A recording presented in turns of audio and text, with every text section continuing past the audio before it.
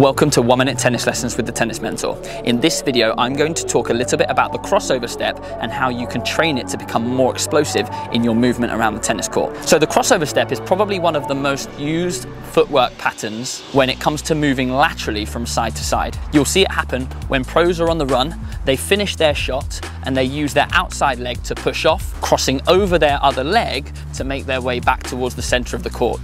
The crossover step is vital in saving time and being efficient when covering big distances. A very simple drill that can help you to develop a quick crossover step is making use of the tram lines.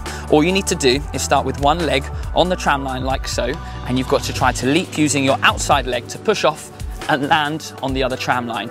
You can repeat this from side to side, becoming more explosive and dynamic. Do this exercise under time limits. You can set yourself 30 seconds to see how many you can do and see if you can beat that score next time. Give that a go and let me know how you get on.